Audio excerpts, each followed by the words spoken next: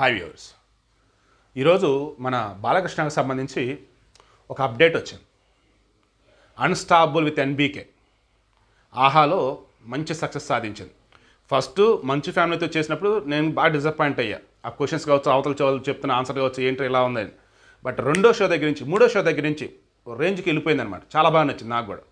So ఈ unstable వచ్చేసి ఇప్పుడు సీజన్ కొత్త సీజన్ అంటే రెండో సీజన్కి సంబంధించి మంచి అప్డేట్ రేపు అక్టోబర్ నాలుగున దీనికి సంబంధించేసి ట్రైలర్ కావచ్చు టీజర్ లాంటిది కావచ్చు రిలీజ్ చేయబోతున్నారట.